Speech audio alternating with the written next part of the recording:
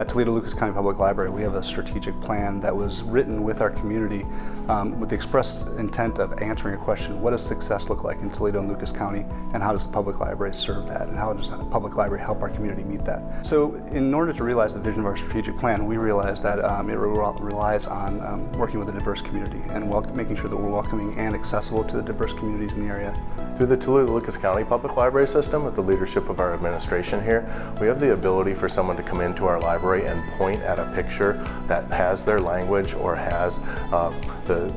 flag from their country and at that point we can connect them with a phone-based interpretation system. We have also have several partners in the community, uh, primarily us together, where they can go and uh, access one of about 13 different language uh, interpreters who can help them uh, you know, find success in their language and, and have that ability to communicate. My primary role here is to provide an access for people that have a dream of maybe starting a business or growing their existing business and helping them access all the different resources. Probably on a monthly basis, I'm probably connecting either through classes or through one-on-ones, I'd say anywhere from 35 to 60 people. Maybe between 5 and 10% are people that are um, either new Americans or people that English is not their um, first language. We want to make sure that we, first of all,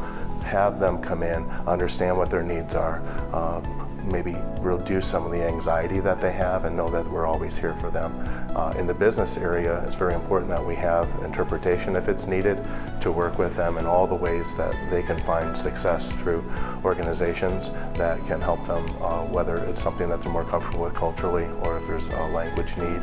and make sure that we connect them to the services for success.